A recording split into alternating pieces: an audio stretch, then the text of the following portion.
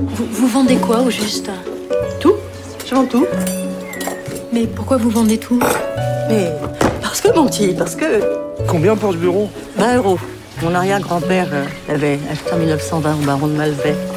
Vous allez bien, Madame Darling Non, mais c'est gentil de demander. C'est ma grand-mère. Maman Là Pourquoi t'as tout sorti Ah, C'est c'est mon dernier jour. Ton dernier jour de quoi De ma vie, ma chérie. De ma vie. Il faut absolument que tu l'arrêtes. Cette maison, c'est une œuvre. je, je veux pas de sa maison. Je veux rien d'elle, merde Tu l'aimais plus Ta bague Ah, touche pas à ça. Je croyais qu'elle était pour moi. Je l'ai jamais eu, ta bague. Tu le saurais si t'avais au moins pris la peine de lire mes lettres. Elle ment comme elle respire. Faut que je bouge.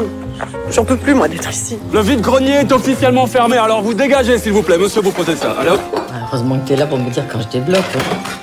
Tu vas pas faire de bêtises. Si j'avais dû faire une bêtise, je l'aurais fait il y a longtemps. Elle te parle de moi, parfois? Ah, mais pourquoi? Bah, dis-moi comment tu vas Tu vas bien? Est-ce que je suis grand-mère?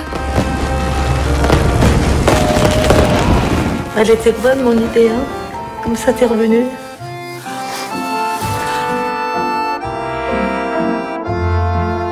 Le moment, avec le temps qui passe, on éprouve souvent le besoin de faire un ménage intérieur? Oh non, non, je vous en prie, hein, non.